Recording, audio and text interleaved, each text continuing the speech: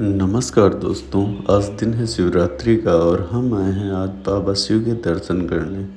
ये जो स्थान आप देख रहे हैं, ये रायबरेली ज़िले के लालगंज कस्बे में स्थित है और इस स्थान को बाबा बालेश्वर के नाम से जाना जाता है। जैसा कि आप सब देख रहे हैं, ये जो तालाब है, इसमें बहुत सारी बड़ी बड़ी मछलियाँ हैं। और ये देखिए, श्रद्धालुओं की कितनी भयंकर भीड़ है, क्योंकि शिवरात्रि के दिन बहुत ज़्यादा मात्रा में लोग इकट्ठा होते हैं जल चढ़ाने के लिए क्षेत्रों से दूर दूर की जगहों से आते हैं। और ये बहुत प्राचीन और प्रसिद्ध मंदिर है। कहते हैं कि यहाँ जो श्रद्धालु हर सोमवार को जल चढ़ाते हैं, उनकी मनोकामनाएँ पूर्ण होती हैं। ऐसा लोगों का मानना है। इतनी सारी भीड़ देख के हमने अपना प्लान कैंसिल कर दिया है। बाहर से ही दर्शन करके चले जाएँगे, क्योंकि इतना क्राउड है कि घुस पाना हमें बहुत भारी लग रहा है।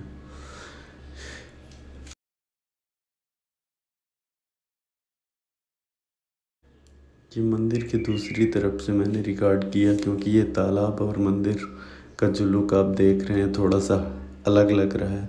देखिए गए सारे लोग बेर बेंच रहे हैं और ये बचपन में हमने इसको चलाई है।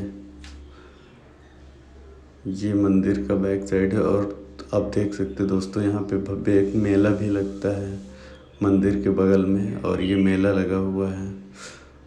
जलेबियाँ बन रही हैं, लोग खरीद रहे हैं जलेबी।